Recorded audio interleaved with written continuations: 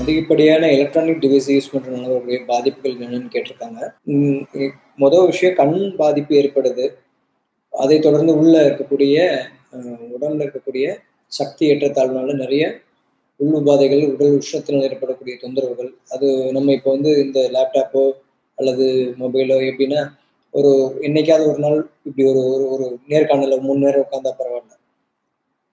தினந்தோறும் காலையிலேருந்து இரவு வரைக்கும் உத்தியோகமாக உத்தியோகமா இருக்கட்டும் படிப்பா இருக்கட்டும் இதை உட்கார்ந்தே பார்க்கறது ஒண்ணு. ரெண்டு விஷயம் நடக்குது. பார்வையும் சரி உடம்புல உயிரோட்டமும் சரி உட்கார்ந்து இருக்கிறனால ரெண்டும் பாதிப்படையும் பொழுது கண்டிப்பா அவங்களுக்கு பிற்காலத்துல ஒரு சில தொந்தரவுகள் கண்டிப்பா வந்து தான் தீரும். அதுதான் நம்ம ஒழுங்குபடுத்துறதுக்கு நம்ம தூக்கம். இப்போ இப்போ எனக்கு இந்த இப்போ லேப்டாப் பார்த்துட்டு இருக்கேன்னா இந்த லேப்டாப்போடைய வெளிச்சம் நேரடியாக என் கண்ணுகளை படுதுன்னா நான் கொஞ்சம் க- பார்வையை அப்படி ஏன் நேரடியாக கேமராவையும் இதையும் பார்க்க மாட்டேன்றேன்னா வெளிச்சத்தை நான் கண்ணை மாற்றிக்கிட்டே இருப்பேன். ஒரே நேரத்தில் பார்த்து அந்த ஈர்ப்பு ஏற்பட்டுற அதாவது அந்த கண்ணுக்கு பாதிப்பு ஏற்பட்டுறக்கூடாதுன்றதுக்காக. செயற்கையான வெளிச்சங்களை தவிர்த்து இயற்கையான வெளிச்சங்கள் நம்ம கண்ணில் பட்டா பரவாயில்ல. அதுவும் அந்த இளம் வெயில்னு சொல்லக்கூடிய இடங்கள் கண்ணில் பட்டா பரவாயில்ல. இல்லாட்டி விழல் வெயிலுக்கு பின்புறமா இருந்து வரக்கூடிய வெளிச்சத்தை நேரடியாக நம்ம பார்த்தா பரவாயில்ல. அதே மாதிரி செயற்கையாக இருக்கும்போது நேரடியாக இல்லாமல் பின்பக்கமாக இருக்கிறது நல்லது. இந்த மாதிரி எவ்வளோக்கு எவ்வளோ நம்மளுடைய கண்களையும் நம்மளுடைய ஆரோக்கியத்தையும் பாதுகாக்க முடியுமோ அந்த அளவில் நம்ம இந்த சாதனங்களை பயன்படுத்திக்கலாம். இப்போ உள்ள காலகட்டங்களில் வேலையும் சரி பள்ளி படிப்பும் சரி ஏதோ ஒரு ஒரு டப்பாக்குள்ள உட்காந்துருக்க மாதிரி இருக்கு.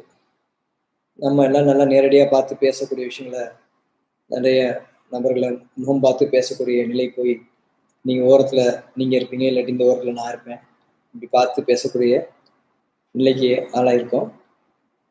வேதனைக்குரிய விஷயம்தான். அப்போ இந்த மாதிரியான சூழல்ல எவ்வளோக்கு எவ்வளோ நம்ம இதை விட்டு வெளியில் வர்றோம்? இந்த எலக்ட்ரானிக் டிவைஸை விட்டு. அந்த நேரம் போக அந்த படிப்பு நேரம் போக அதிக நேரம் மற்ற நேரங்களை இந்த விஷயத்தை பயன்படுத்த வேண்டாம். அதே மாதிரி தூக்கத்தை ஒழுங்குபடுத்துறது. பயிற்சிகள் கொஞ்சம் உங்களுக்கு கொஞ்சம் விளையாட சொல்லுங்க. வாய்ப்பு கிடைக்கும் போதெல்லாம் விளையாட சொல்லுங்க. ஸ்கூல்ல எப்படி ஒரு பீரியட் இருக்கு பீரியட் பசங்க குதிச்சு கிச்சு ஒரு டீச்சர் வந்து போகிறதுக்கு அஞ்சு நிமிஷத்துக்குள்ள கிளாஸ் ரூமே ரெண்டாயிரம் சொல்லுவோம்ல. அந்த மாதிரி வீட்டில் அவங்களையும் ஆட சொல்லுங்க வேறு என்ன செய்யறது? அப்படிதான் கொஞ்சம் கொஞ்சம் அவங்களுடைய மனநிலை சார்ந்த விஷயங்களுக்கும் உடலுக்கும் நம்ம கொஞ்சம் மாற்றத்தை ஏற்படுத்தணும்னா பாதிப்புகள் வந்து கொஞ்சம் குறையும். தச்சுக்கலாம்